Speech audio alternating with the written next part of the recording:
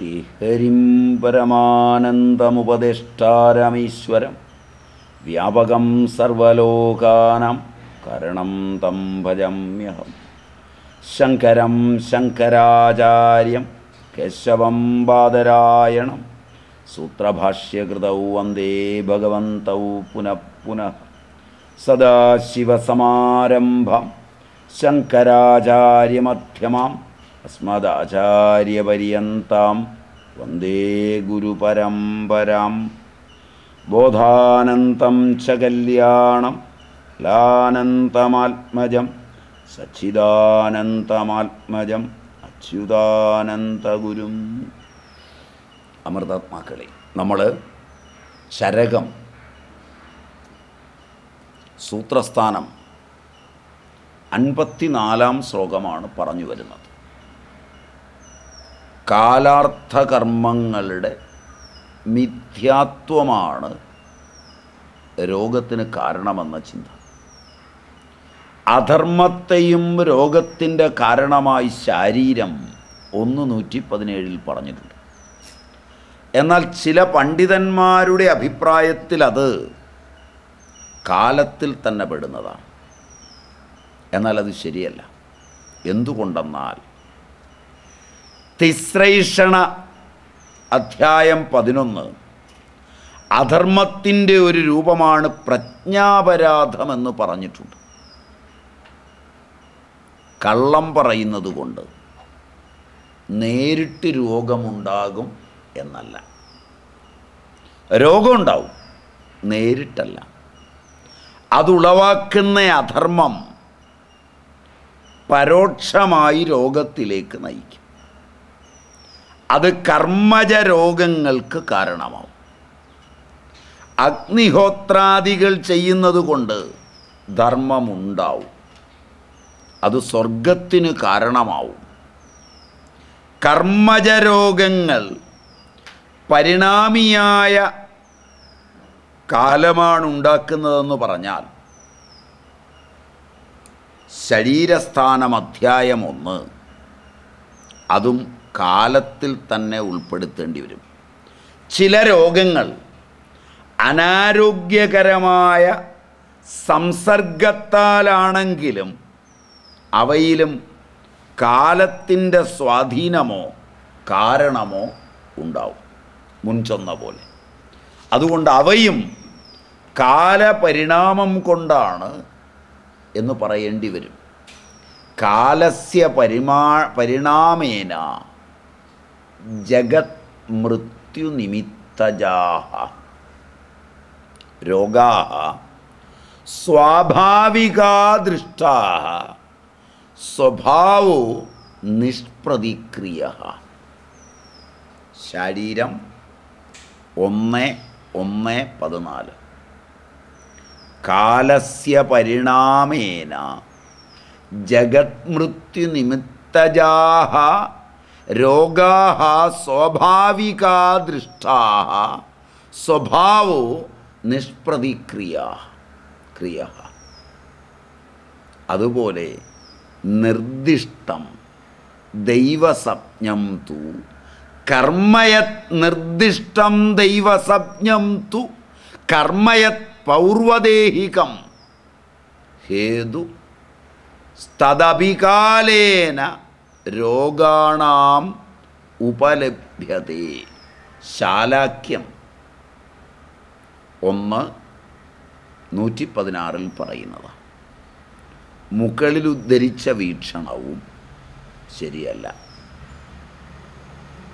ഈ പ്രജ്ഞാപരാധങ്ങളിൽ പോലും ബുദ്ധിയുടെ മിഥ്യാരൂപേണയുള്ള കർമ്മം രോഗത്തിന് കാരണമാണ്. കാലമല്ല ബുദ്ധിയുടെ മിഥ്യാരൂപേണയുള്ള കർമ്മം രോഗത്തിന് കാരണമാണ്. രോഗം കാലം അസാത്മേന്ദ്രിയത അല്ലെങ്കിൽ പ്രജ്ഞാപരാധം കൊണ്ടാണെന്നിരിക്കട്ടെ. എല്ലാ രോഗങ്ങളും ഒരു പ്രത്യേക സമയത്ത് രൂപപ്പെടുന്നു. അതുകൊണ്ട് തക്കതായ കാലത്ത് രോഗം പ്രത്യക്ഷമാകുന്നു എന്ന് പറയപ്പെടുന്നു. ഉദാഹരണത്തിന് സന്തതജ്വരവും മറ്റും. അത് പ്രത്യേക സമയത്ത് മാത്രം പ്രത്യക്ഷമാകുന്നു എന്ന് വിവരിച്ചിരിക്കുന്നു.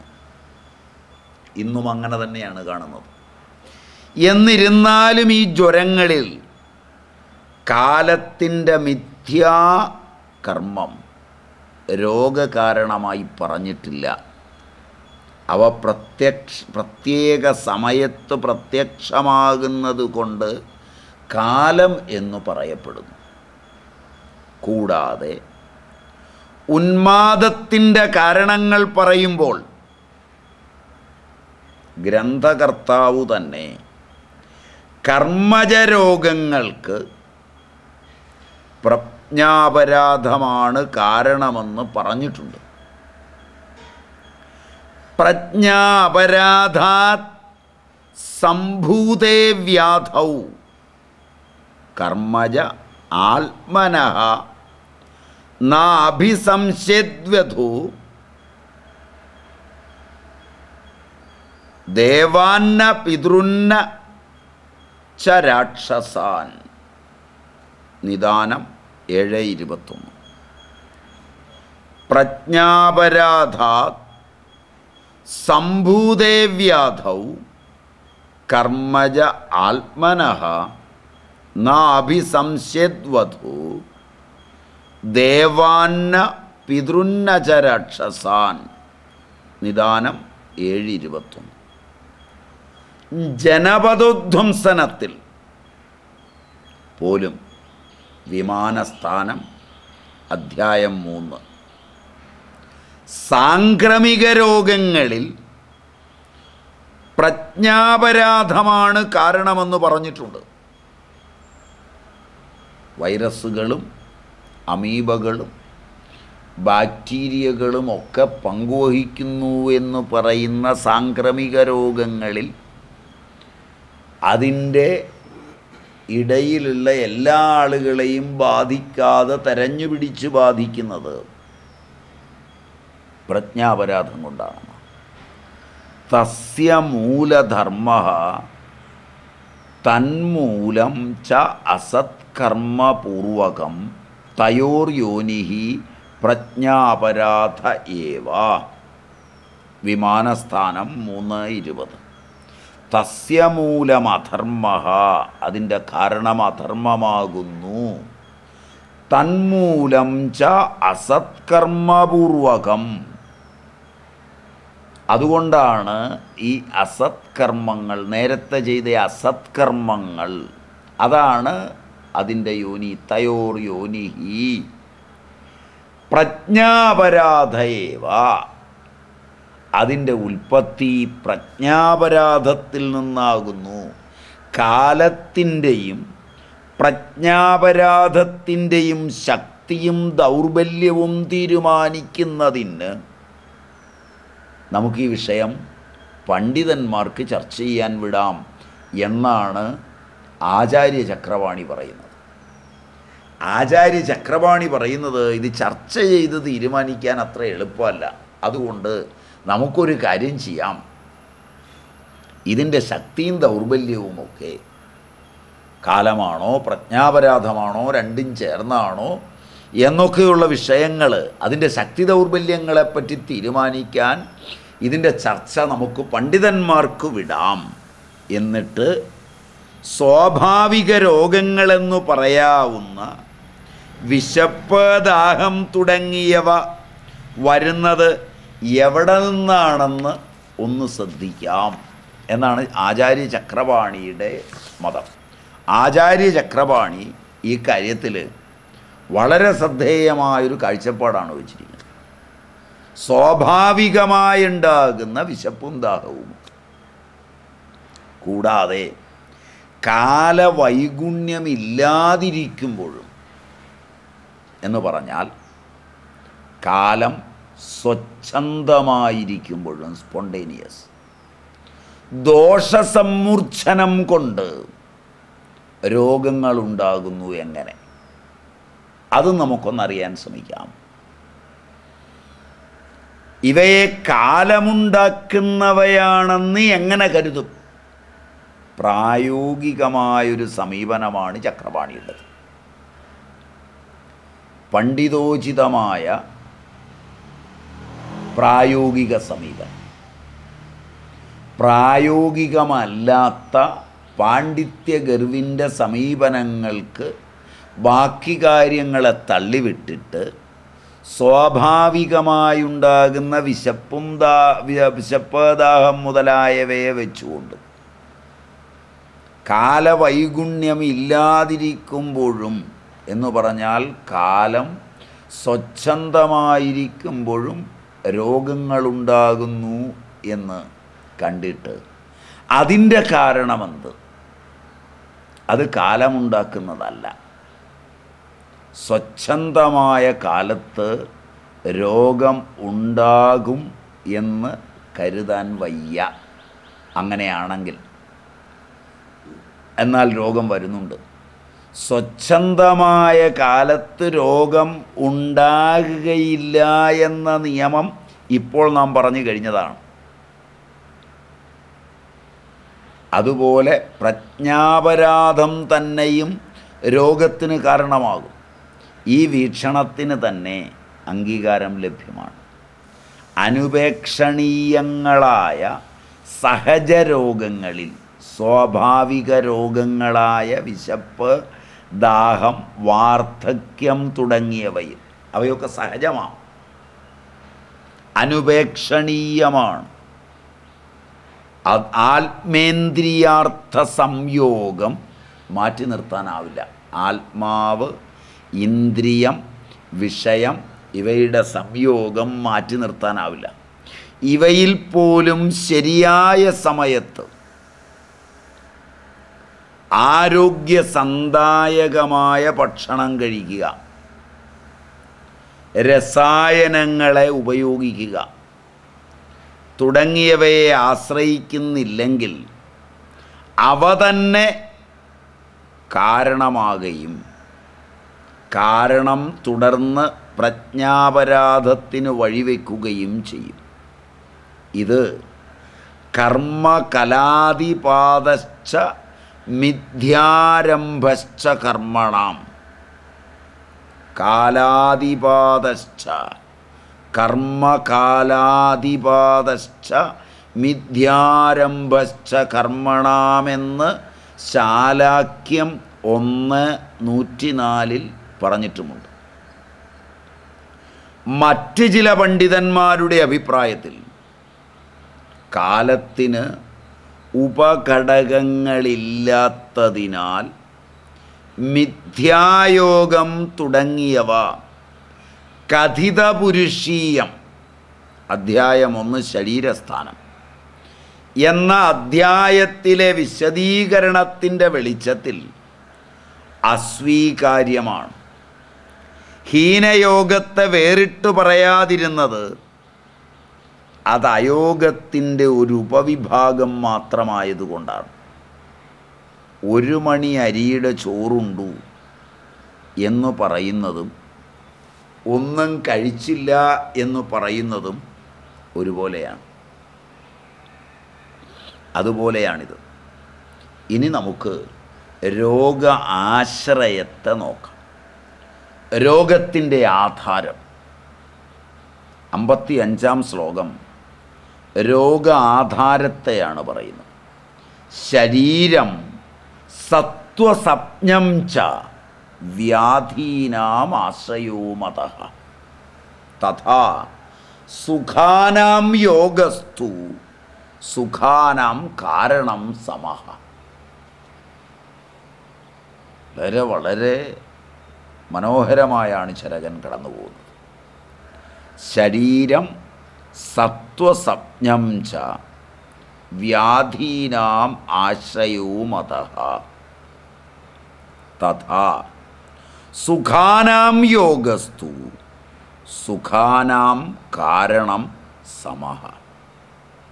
ശരീരം സത്വസപ്നം ച വ്യാധീനാം തഥാ സുഖാനാം ആശ്രയോ മത മനസ്സ് ശരീരം ശരീരം മനസ്സ് എന്നിവയെ ശരീരം സത്വ സപ്നം ച. ശരീരം മനസ്സ് എന്നിവയെ വ്യാധികളുടെയും ദുഃഖത്തിന്റെയും വ്യാധികൾ ദുഃഖങ്ങൾ അതിന്റെയും അതുപോലെ സുഖാനാം ആരോഗ്യത്തിന്റെയും സുഖത്തിന്റെയും ആശ്രയം എന്ന് മാനിക്കപ്പെടുന്നു. ഇതിന്റെ രണ്ടിന്റെയും ആശ്രയസ്ഥാനമാണ് എന്ന് മാനിക്കപ്പെടുന്നു ശരീരം. മനസ്സ്. സുഖാനാം കാരണം. സുഖങ്ങളുടെ കാരണം. ആരോഗ്യത്തിന്റെ കാരണം. സമഹ. കാലം. ബുദ്ധി. ഇന്ദ്രിയാർത്ഥങ്ങൾ. ഇവയുടെ ഉചിത സംയോഗമാണ് സമസംയോഗമാണ്. തു അതാകട്ടെ സുഖാനാം എല്ലാ പ്രകാരത്തിലുള്ള ആരോഗ്യത്തിന്റെയും കാരണം കാരണമാകുന്നു. രോഗത്തിന്റെ കാരണവും ആരോഗ്യത്തിന്റെ കാരണവുമാണ് ചർച്ച ചെയ്യുന്നത്. രോഗ ആശ്രയവും ആരോഗ്യത്തിന്റെ ആശ്രയവും ശരീരവും മനസ്സും രോഗങ്ങളുടെയും ആരോഗ്യത്തിന്റെയും ആശ്രയമാണെന്ന് പറയപ്പെടുന്നു. രോഗത്തിന്റെയും ആരോഗ്യത്തിന്റെയും ആശ്രയം ശരീരമനസ്സുകളാണ് ശരീരം മാത്രമല്ല എത്ര പ്രാചീനമായാണ് ഇതെഴുതി വെച്ചതെന്ന് ആലോചിക്കണം. ആരോഗ്യം യോഗമാണ് യുക്ത സംയോഗം. അയുക്ത സംയോഗമാണ് രോഗം. ശരീരം ഗ്രന്ഥത്തിന്റെ ഉദ്ദേശ്യം തന്നെ ശാരീരിക രോഗങ്ങളുടെ നിവാരണമായതുകൊണ്ട് ആദ്യം ശരീരത്തെ പറയുന്നു. സത്വസർജ്ഞം എന്നതുകൊണ്ട് മനസ്സിനെ പറഞ്ഞിരിക്കുന്നു. സത്വമെന്ന പദം കൊണ്ട് മാത്രം മനസ്സിനെ സൂചിപ്പിക്കാം. സത്വം മതി. എന്നിട്ടും മനസ്സിനെ സൂചിപ്പിക്കുവാൻ സംജ്ഞാപദം എന്തിനാണ് ഉപയോഗിച്ചിരിക്കുന്നത്? ആത്മാവും മനസ്സും ശരീരവും തമ്മിലുള്ള ബന്ധത്തെ കാണിക്കുന്നതിനാണ് മനസ്സിന് ശരീരവുമായി ബന്ധമില്ലായിരുന്നു എങ്കിൽ അത് ശരീരത്തിന്റെയും മനസ്സിന്റെയും വേറിട്ടുള്ള രോഗങ്ങളുടെ അധിഷ്ഠാനമാകില്ലായിരുന്നു. ശാരീരിക രോഗങ്ങൾ മാനസിക രോഗങ്ങൾ കുഷ്ഠം തുടങ്ങിയ രോഗങ്ങൾ പ്രത്യേകിച്ച് ശാരീരിക രോഗങ്ങളാണ്. കാമം തുടങ്ങിയവ മാനസിക രോഗങ്ങളാണ്. ഉന്മാദം തുടങ്ങിയ രോഗങ്ങൾ ഉഭയാംഗത്വമുള്ളവയാണ്. ശരീര മനസ്സുകൾ ചേർന്നതാണ്. സുഖമാണ് ആരോഗ്യമെന്നത്. സുഖസപ്ഞകം ആരോഗ്യം വികാരോ ദുഃഖയേവച സൂത്രം ഒമ്പത് നാല് പറഞ്ഞിട്ടുണ്ട്. ആരോഗ്യം ശരീരമനസ്സുകളുടേതാണ് ശാരീരികാരോഗ്യമെന്നത് ശാരീരിക രോഗങ്ങളുടെ അഭാവവും മാനസികാരോഗ്യമെന്നത് മനോരോഗങ്ങളുടെ അഭാവവുമാണ്. യോഗമെന്നത് കാലം ബുദ്ധി ഇന്ദ്രിയാർത്ഥം വിഷയങ്ങൾ എന്നിവയുടെ സമ്യക് ഉപഭോഗമാണ്. ആത്മാവ് ഗുണം കർമ്മം. ആത്മാവിന്റെ ഗുണങ്ങളും കർമ്മങ്ങളും. അതിന് ആത്മലക്ഷണം അറിയണം. എന്താണ് ആത്മാവ്? ആത്മാവിനെ ആയുർവേദം എങ്ങനെയാണ് കാണുന്നത്? ഭാരതീയ ദർശനങ്ങളുടെ വെളിച്ചത്തിൽ വളരെ ചിന്തിതമായൊരു ചോദ്യമാണ് നിർവികാര പരസ്ത്വാത്മാ സത്വഭൂതഗുണേന്ദ്രിയൈ ചൈതന്യേ കാരണം നിത്യോ. ദ്രഷ്ട പശ്യതി ക്രിയാ അൻപത്തിയാറാം ശ്ലോകമാണ്. നിർവികാര പരസ്ത്വാത്മാ സത്വഭൂതഗുണേന്ദ്രിയൈ ചൈതന്യേ കാരണം നിത്യോ. ദ്രഷ്ട പശ്യതി ഹി ക്രിയാ ചരകം അമ്പത്തിയാറാം ശ്ലോകമാണ്. നിർവികാര പരഹ ആത്മാതു സത്വഭൂതഗുണ ഇന്ദ്രിയൈ ചൈതന്യേ കാരണം നിത്യ ദ്രഷ്ടാഹി ക്രിയാഹ ക്രിയാ പശ്യതി.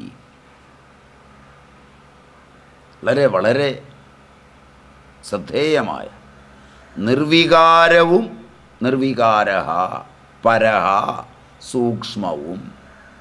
ആത്മാതു ആയ ആത്മാവാകട്ടെ സത്വഭൂതഗുണ ഇന്ദ്രിയൈ ചൈതന്യേ കാരണം.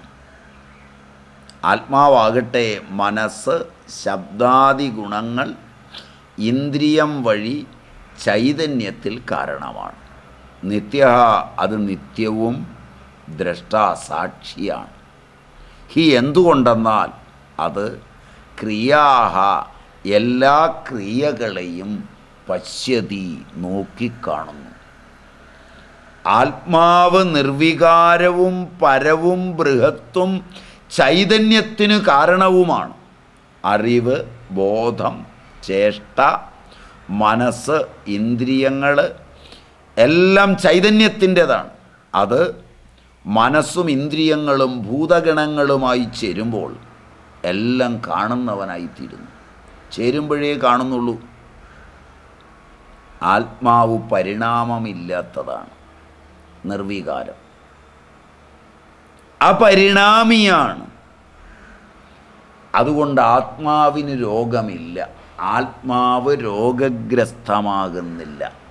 ഈ ഒറ്റ കാരണം കൊണ്ടാണ് ആരോഗ്യം നമുക്ക് സങ്കല്പിക്കാനാവുന്നത് ദ്രഷ്ടാവായ ആത്മാവ് നിർവികാരമായതുകൊണ്ട് ഏത് രോഗത്തിന്റെ ഏതവസ്ഥയിലും രോഗമുക്തിക്കുള്ള പ്രതീക്ഷ നിലനിൽക്കും. അതല്ലെങ്കിൽ വികാരപരമായ ശരീരമനസ്സുകൾക്ക് ആരോഗ്യസങ്കല്പത്തിന് സാധ്യതയില്ല. ഈ പ്രബല ചിന്തയെ നമുക്കായി കാണിച്ചു തന്ന ചരക മഹാപ്രഭുവിന്റെ പാദരേണുക്കളിൽ ഭക്തിപൂർവം നമുക്ക് പ്രണമിക്കാം.